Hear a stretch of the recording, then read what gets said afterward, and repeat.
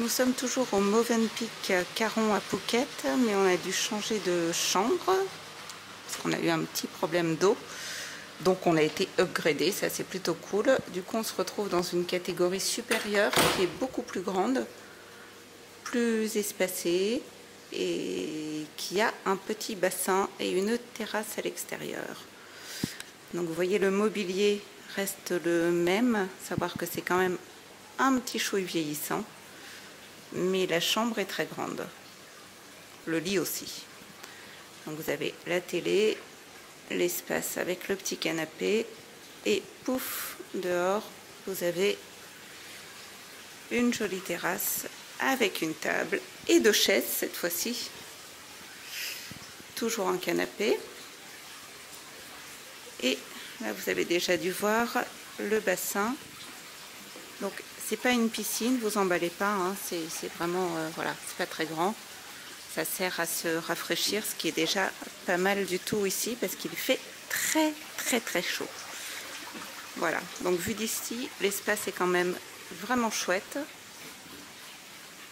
Hop. La terrasse est grande.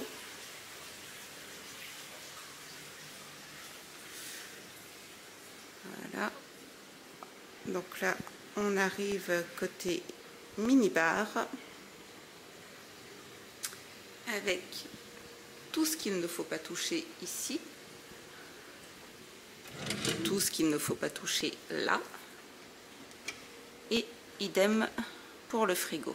Voilà, tout ça coûte très très cher. L'hôtel charge relativement cher pour tout ce qui est euh, complément ou snacking. Donc on vous conseille très vivement d'aller au 7-Eleven qui est à peu près à 3 minutes. Vous aurez tout ça pour un prix très abordable. Ce que vous pouvez toucher en revanche, évidemment, c'est ce qui est café, thé et eau. Voilà. Ici, vous avez un bureau pour travailler avec des prises. Voilà, c'est quand même assez spacieux. Et vous avez la possibilité d'avoir une salle de bain ouverte ou fermée au choix. Ça se ferme avec des, euh, des volets. Donc là, pouf, intimité. Ça se ferme des deux côtés, évidemment. Ou alors, liberté. Voilà, comme ça l'espace est vachement plus agréable. La salle de bain est très grande aussi. Donc il y a une grande baignoire d'un bloc, assez réussie. La douche est très grande. Il y a plus de place pour poser euh, ses affaires, bêtement.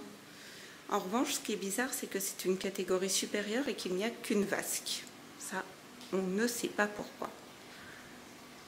Voilà, donc le bilan, c'est que dans l'ensemble, la chambre, enfin la villa en tout cas, est très réussie.